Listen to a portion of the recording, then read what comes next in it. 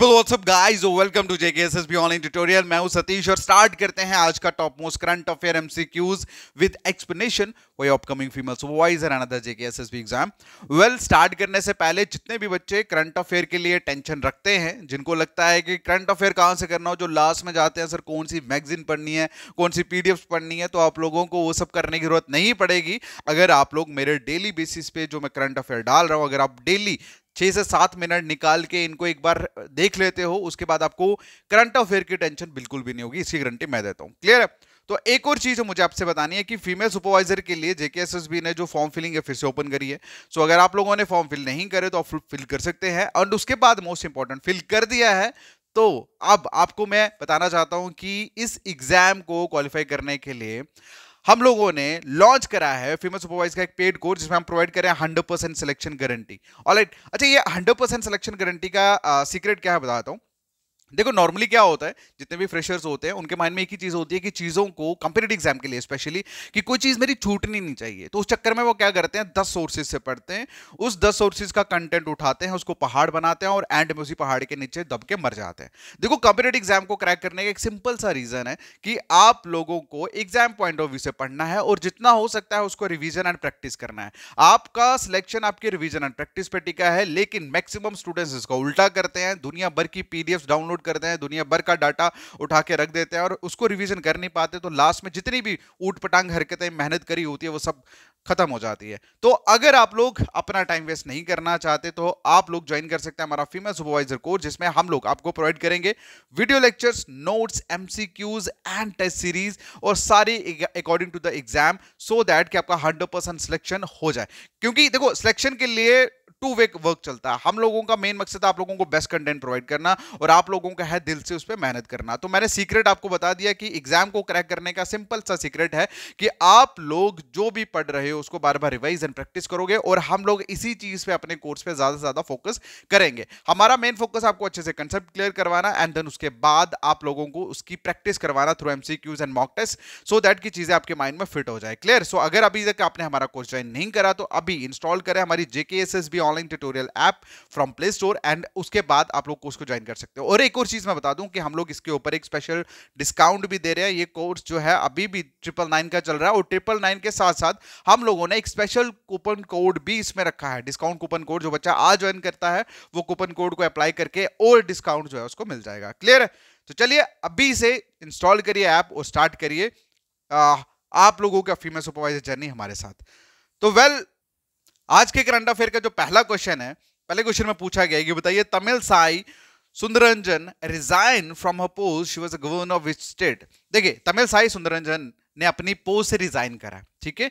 अच्छा ये कौन है? ये गवर्नर है। अच्छा ये कौन सी स्टेट के गवर्नर है, ये क्वेश्चन में पूछा गया, ठीक है? इन्होंने रिसेंटली अपनी पोस्ट से रिजाइन जो है, वो दिया है and she is a governor question में ये पूछा गया है कि कौन सी स्टेट के गवर्नर है? क्लियर है? तो इनका जो स्टेट है दैट इज़ तेलंगाना ठीक है? तेलंगाना के तेलंगाना की ये गवर्नर है एंड रिसेंटली इन्होंने अपनी पोस्ट से रिजाइन जो है, वो दिया है। अगला जो क्वेश्चन है, पूछा गया है कि बताइए who was awarded the PV Narasimha Rao memorial award recently तो recently PV Narasimha Rao memorial award जो है वो किनको दिया गया मतलब किनको ऑनर किया गया है? तो इसका जो आंसर है दैट इज़ रतन टाटा। ठीक है? रतन टाटा कौन है? मुझे बताने की ज़रूरत नहीं है एक्सप्लेन करने की ज़रूरत नहीं है, आप सभी लोग जानते हैं। ठीक है? तो इनको रतन टाटा जी को basically PV Narasimha Rao memorial award के साथ नवाजा गया है, उनको ऑनर किया है। और एक चीज़ और बता दूँ, ये अवार्ड बेसिकली उन लोगों को दिया जाता है, जो लोग यू नो सोशल वर्क हो गया या ह्यूमनिटेरियन वेलफेयर के लिए जो लोग बहुत ज़्यादा काम करते हैं।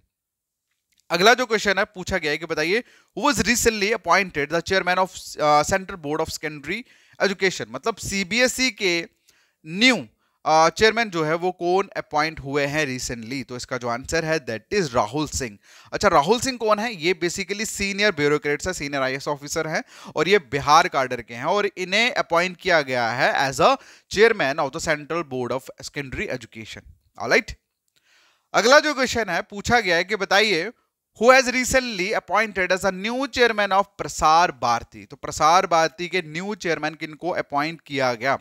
तो इसका जो आंसर है दैट इज़ नवीन कुमार सेगल ठीक है? नवीन कुमार सेगल ये बेसिकली रिटायर्ड आईएएस ऑफिसर हैं और इनको अपॉइंट किया गया है as a new chairman of Prasar Bharati okay अगला जो क्वेश्चन है, पूछा गया है कि यूनियन मिनिस्टर अर्जुन मुंडा ठीक है? ये जो पिक्चर आप देख रहे हैं अर्जुन मुंडा की पिक्चर है। इन्होंने एक फाउंडेशन स्टोन जो है, वो रखा है। Centre for preservation and promotion of tribal culture and heritage in which state मतलब कौन सी स्टेट में यूनियन मिनिस्टर अर्जुन मुंडा ने बेसिकली फाउंडेशन स्टोन रखा एक सेंटर के लिए? सेंटर किसके लिए? Preservation and promotion of tribal culture and heritage के लिए। तो इसका जो आंसर है दैट इज़ झारखंड कहा? कौन सी स्टेट में रखा है? झारखंड में। अच्छा ये union minister of tribal affair agriculture and farmer welfare minister है, ठीक है? जिनका नाम है अर्जुन मुंडा क्लियर अगला जो क्वेश्चन है, अगले क्वेश्चन में पूछा गया है कि बताइए which team won the title of second season of women premium league तो वुमेन प्रीमियम लीग जो हो रही थी सेकंड टाइटल जो हो रहा था तो इसमें ये जो टाइटल है बेसिकली किन्होंने जीता? मतलब सेकंड टाइटल जो है, वो किस टीम ने जीता है विमेन प्रीमियर लीग में? तो इसका जो आंसर है that is Royal Challenger Bangalore ने। ठीक है? रॉयल चैलेंजर बेंगलोर ने सेकेंड टाइटल जो था विमेन प्रीमियर लीग का, वो जीत लिया है। अगला जो क्वेश्चन है दैट इज़ माजुली मास्क ठीक है? माजुली मास्क आप देख रहे हो इन Majuli mask got GI tag belong to which of the following state मतलब मॉजुली मास्क ये मॉजुली मास्क जो है, इसको जीआई टैग मिला है। अब बताइए ये कौन सी स्टेट से बिलोंग करता है? ये क्वेश्चन में पूछा गया तो उसका जो आंसर है दैट इज़ असम क्या आंसर है? असम अगला जो क्वेश्चन है, पूछा गया कि बताइए रिसेंटली इंडियन नेवी ने अपना एक फ़र्स्ट इंडिपेंडेंट हेडक्वार्टर जो है वो सेटअप करा है, जिसका नाम इन्होंने रखा है नौसेना भवन अच्छा ये कौन सी जगह पे इन्होंने सेटअप करा है, ये क्वेश्चन में पूछा है? तो इसका जो आंसर है दैट इज़ न्यू दिल्ली कहाँ पे करा है? न्यू दिल्ली अच्छा union defence minister Rajnath Singh ने इनोग्रेट करा है ये नौसेना भवन ओके एंड ये इंडियन नेवी का न्यू हेडक्वार्टर है कहाँ पे? दिल्ली कंटेनमेंट पे। अगला जो क्वेश्चन है that is Atapaka bird sanctuary जो है रिसेंटली न्यूज़ में देखने को मिला। बताइए कौन सी स्टेट में लोकेटेड है? ठीक है? तो इसका जो आंसर है दैट इज़ आंध्र प्रदेश कहाँ पे है ये? आंध्र प्रदेश में। अगला जो क्वेश्चन है, पूछा गया है कि बताइए where was the sixteen world social forum 2024 meeting held तो ये सोलहवीं वर्ल्ड सोशल फोरम 2024 का जो मीटिंग है, ये कहाँ पे हेल्ड हुआ ये क्वेश्चन में पूछा गया तो इस क्वेश्चन का आंसर आप लोग करोगे कमेंट सेक्शन में। बाकी मिलते हैं नेक्स्ट वीडियो में। तब तक के लिए thank you so much take care bye bye